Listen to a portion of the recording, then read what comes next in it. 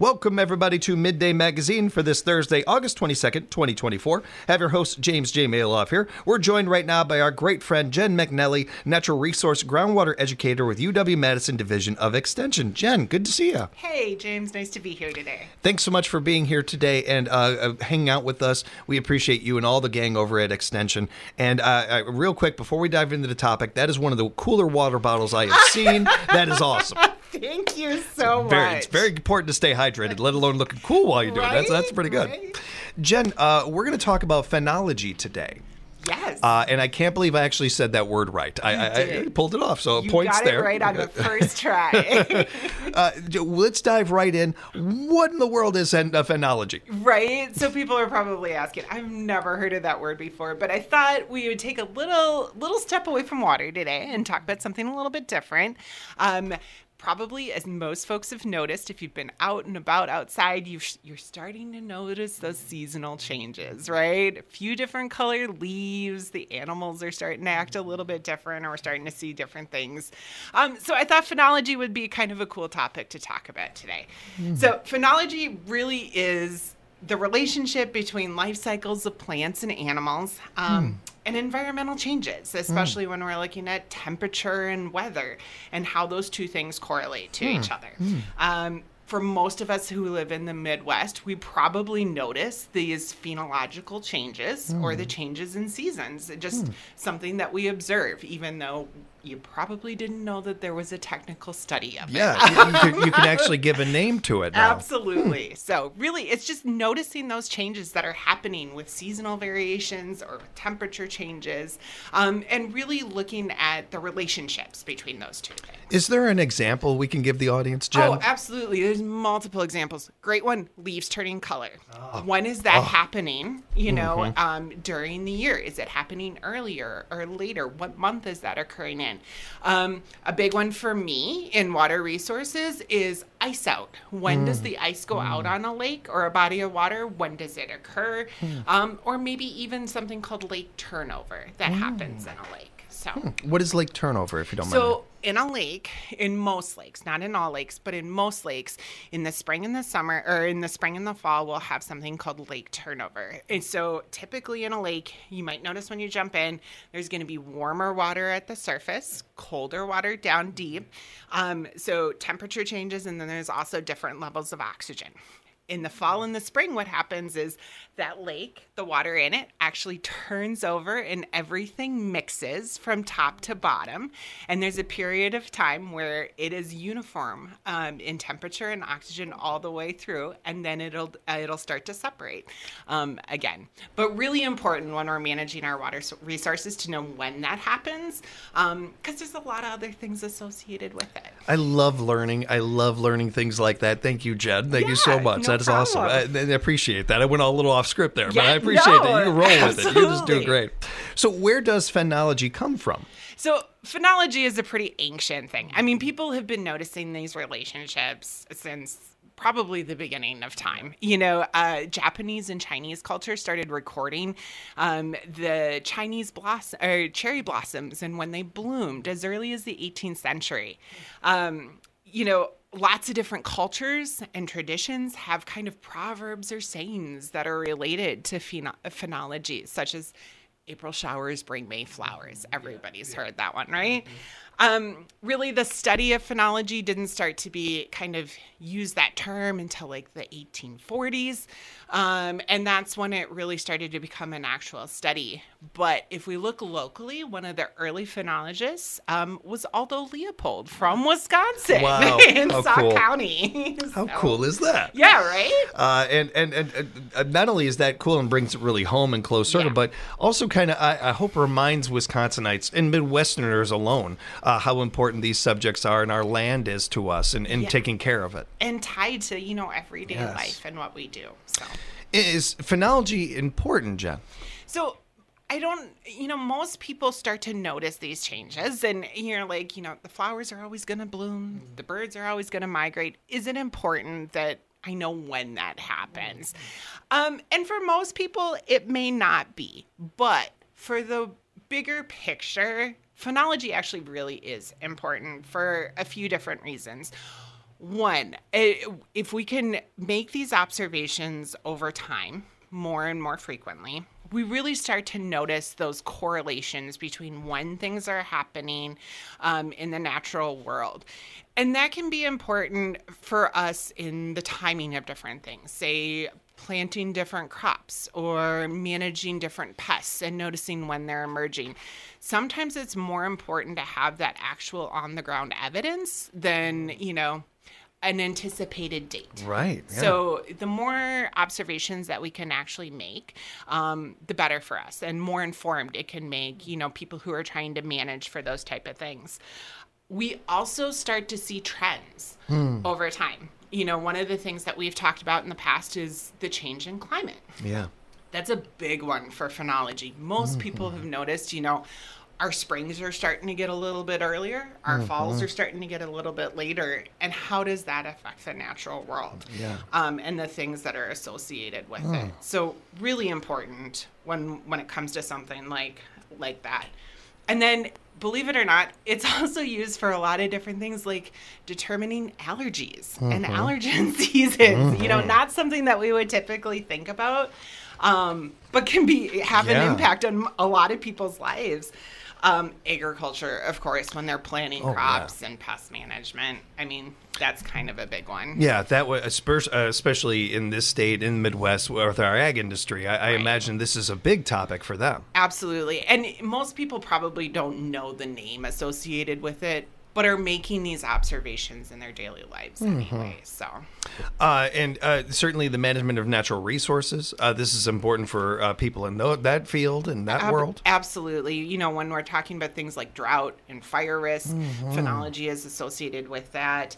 Um, you know, looking at different types of uh, conservation how what plants are there? Is there a year where we're not seeing as much of things? For example monarch butterflies that's a great one. Mm-hmm. Yeah. you know we've noticed declines in their populations. Does that have a phenological association with it? Um, or not so yeah And, and if I can piggyback on this amazing list that you have here, uh, one ad- one other thing to add, it's cool. Like this is cool to learn about. This is cool that- and interesting that this happens and how long this has been happening. The history of this is fascinating. It's just really interesting, and it happens all around us. And nature is a, a never nature has doesn't have reruns. Like, Right. it's always something new. It's always something interesting, and uh, that that part of it is really cool too. To be able to certainly, I, I actually think it, it might we might have uh, saved time by talking about the industries that aren't not affected by phenology because it feels That's like ev- feels like it touches everything in our lives. It really does. So being able to take a step back and appreciate it, see how cool this is in nature, how cool nature is in general, I think also will help you see how it applies to your day-to-day life or your field, your job, and how important it is that we not only uh, understand these things, but that we have individuals like yourself and other people out there really keeping an eye on these things. Yeah, and I think that's maybe one of the things that I geek out about this topic a little bit is that it is so accessible for anyone. You know, if somebody is like, well, well, how do I start or how do I participate in this? It is as simple as going for a walk and just noticing the things around you. You know, it doesn't take anything special um, to to really participate. It's really just taking the time um, to stop Yeah. and and notice the world around you and and how that's changing from day to day or from month to month. Um, you know, if people really want to get a little bit more serious about phenology, it's just recording those observations and writing them down, which is can be as simple as just using a notebook um, and taking the time to go out there and notice what you you see around you. Doesn't matter if you live in the city or in the country. Things change no matter where you are. so. Well, with uh, you know, we're speaking with Jen McNelly, natural resource groundwater educator with UW Madison Division of Extension, and and, and Jen, one of the things that uh, occurs to me as we're talking about this too is um, kind of coming back to the observance of our world, and, and I'm I've always been a, a really bad at stopping and being in the moment, you know, and, and and just taking a pause and breathing and appreciating the world around me. I, I get busy and I get focused, like Oh, a lot of people and stuff. one of the things that's really helped me later in life with this is uh, animals. Yeah. Like my fur brother Sam. Yep. I'm running around like crazy. Sam's just sitting there, and I see him as I'm going past, and I got to stop and pet Sam. I got to stop, and and it, it gets me to be in the moment for a second and, Right. and kind of stop and think about things and observe the world around me, especially when I'm taking them for a walk, and I see something like our geese flying south. Or, or, or something like that, and something that we see all the time, but it gives me a moment to like appreciate it, and I just Yep. see how beautiful it is. Check out the blue sky that's above me, and uh, observe the world around me for a moment before I realize, oh wow, this is beautiful. Like I'm, I'm fortunate. I get to live in this world, in this city, in this state, and these things, and can make us really.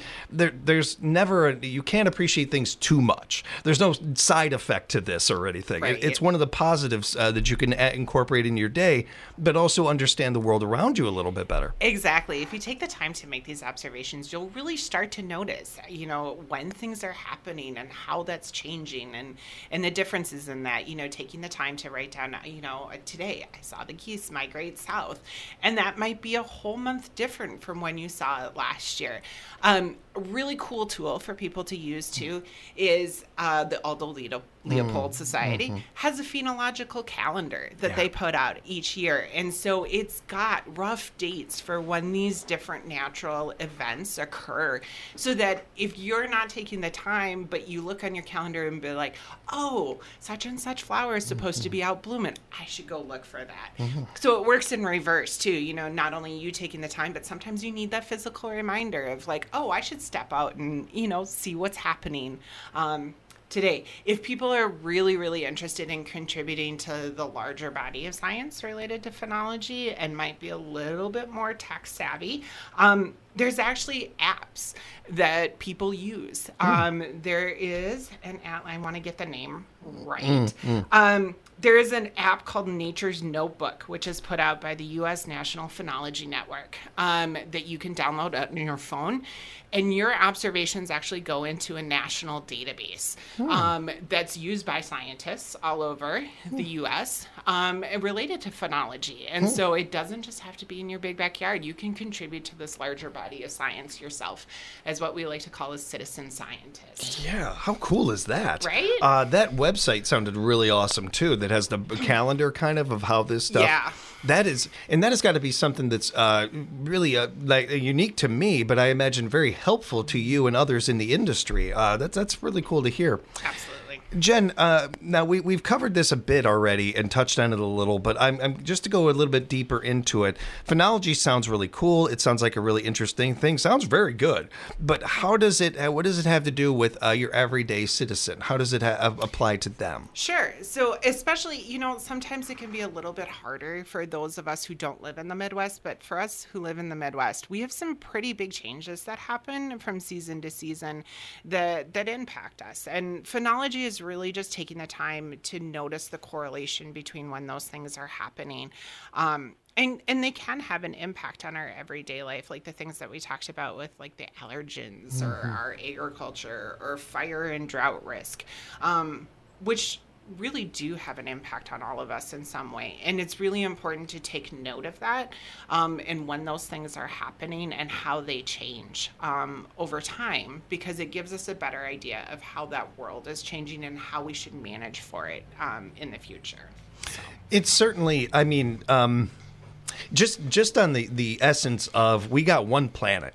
Right. You know, I mean, if if I could just go to that route real quick, because this is what we got, everybody. I haven't checked it out recently, but I have not seen a lot of apartments on the moon or Mars or anything like not that. so much. The last I checked, there is no real estate over there. Uh, this is the world we got, and and in order to take care of it and keep it around, not just for us but younger generations and everything, this subject is also important. I would say on that level, and absolutely. not necessarily that you you take this information and you you immediately start a, a green fund or something like that. But um, as as I get older, I realize more and more that we're all conservationists. Yeah. and we're all on the same page, on the same planet, trying to keep this rock going and keep it moving and making sure that there, it's around here for a long time.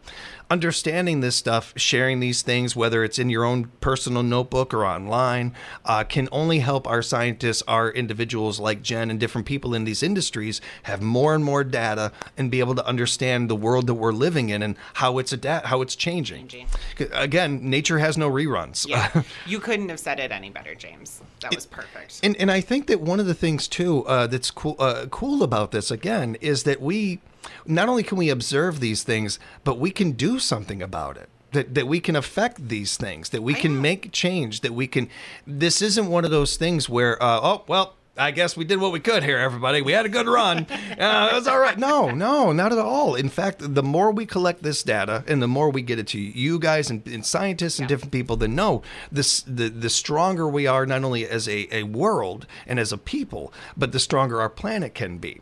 Um, that, make no mistake about it, the planet's going to be here. Whether we are or not is a Yeah. whole other story. Yeah, so exactly. keeping us around and, and thriving on this planet is just as integral as the planet itself. Right. This stuff, this is all data. It all helps with it. And again, it's really cool. It's really interesting to see this stuff all just happening around us. I was going to say, it's fun too. You know, it's an opportunity to take a pause, to notice that world around us, the beautiful state that we live in, um, and, and just really be cognizant of how, how that is changing and, you know, between the seasons and what's happening and, and really just appreciating it. I don't mean to uh, put you on the spot, Jen, but I'm curious because I, I, I gave you, you know, a little bit of what, how this is for me and the little bit that I've observed.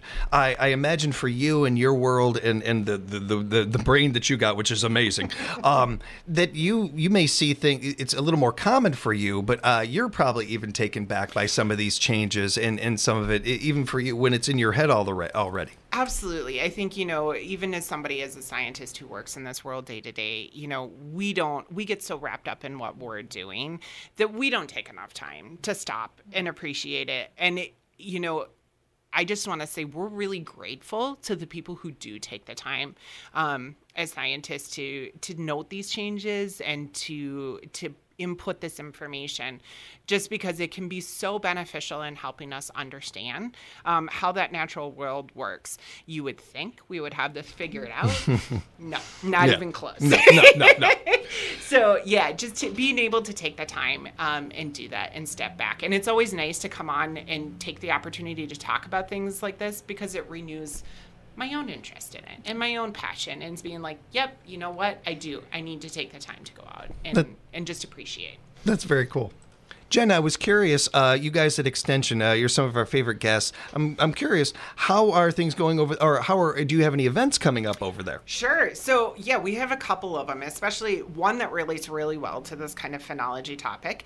Um, October 5th, Saturday, October 5th, we're hosting the annual Science by the River event. This is a great chance for people to get outdoors along the Wisconsin River, kind of notice the beauty and those those changes that are happening um, that we talked about, but also a great way to experience some hands-on science. There'll be lots of different community organizations and booths along the entire Wisconsin River for families to come out and just get hands-on, you know, fun activities related to science. So that's a great one. We love that event. Uh, I'll be wearing my shirt. I Yeah, got. I got. there you go. I have one pink shirt I own, and that's the one that I love it. So, so make sure to mark that Saturday, October 5th on your calendars. Uh, the other one that is probably relates really well to this topic too is coming up um, Saturday, September 7th. Uh, Extension is hosting the Clean Sweep event. Um, so, you know, if you have hazardous or chemicals or household products that you need to dispose of, um, that is a great place to do that free of charge. Uh, so make sure to check that out too, as well. And we'll be certainly uh, highlighting both of those events uh, as we get closer to them here on our morning show and uh, midday here and our other shows. We'll be highlighting them, making sure that we get good turnouts for both of those events. Um, uh, appreciate everybody involved with Clean Sweep. They do such great work about that, and so many volunteers that help out with that one. And uh, same thing with uh, Science by the River. We love that event. it's only getting bigger and stronger every year. We're looking forward to that. That is our hope. Uh, Jen, we have talked about some really cool stuff today. If people have follow up questions, want to know more about some of what we touched on, how can they get in touch with you? Sure. Extension is a great resource for a lot of different topics. So I always encourage people to check out the website. Uh, you know, the Wood County Extension Office has a great website full of lots of different information. So that's a great place. Um, otherwise, you can always give us a call as well. Uh, Extension's website is extension.wisc.edu, extension.wisc.edu. Be sure to bookmark that page. It's not just a great way to keep up to date on everything, but also a good way to reach out to them and follow up with follow up questions and other things you might wonder and want to know. And be sure to follow them on social media as well. Not only is it a great way to keep up to date on things there, but you can share a lot of their events on your pages, and you just never know who might see them that wouldn't otherwise. Right. Absolutely. Jen, uh, always fun hanging out with you. Looking forward to the next time already. Thank you so much for uh, being here today and uh, bringing this great topic to us. Well, thanks for the time, James. Say hi to the team over there for us. Will do. We'll have more Midday Magazine coming up for you right here at 97.5 FM, 1320 AM, WFHR. We are locally grown radio.